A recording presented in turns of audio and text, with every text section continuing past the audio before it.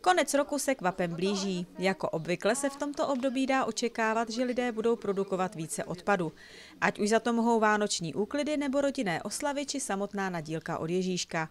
Ve Štětí jsou na to připraveni. Druhý prosincový víkend proběhne poslední letošní svoz velkoobjemového odpadu. Na štědrý den pak mohou lidé počítat s mimořádným svozem papíru. Po svácích v pondělí 27. prosince proběhne mimořádný svoz městného komunálního odpadu a o den později je naplánován svoz plastu. Eh, ty termíny jsou známé, jsou na webových stránkách města, každý se může dohledat. Připomeneme pouze, že svoz eh, v místních částech, svoz objevného odpadu bude probíhat mezi 10. a 12. prosincem o víkend, to bude poslední letošní, a poslední svoz bioodpadů proběhne 1. 12. Eh, samozřejmě dojde i na mimořádný svoz během vánočních svátků, ty datumy a ty termíny budou ve zpravodaji města Štětí, budou nalezeni na webových stránkách.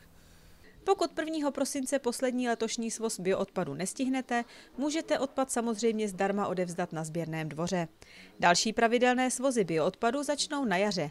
Příští rok navíc obyvatele Štětí čeká v tomto směru příjemná změna.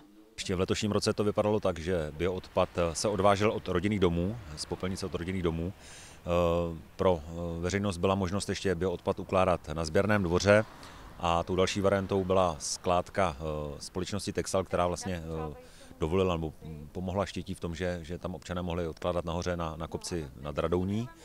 Nicméně od příštího roku v nových polopodzemních kontejnerech už jeden z těch kontejnerů nebo jedno, jedno, jeden z těch kontejnerů v těch stání e, počítá s tím, že vlastně bude na bioodpad. To znamená, že občané už budou moci, moci ten bioodpad vyhazovat přímo ve městě a, a nemusí se s ním e, vozit e, ať už do komunálních služeb nebo respektive na sběrný dvůr nebo nahoru na Radonský kopec.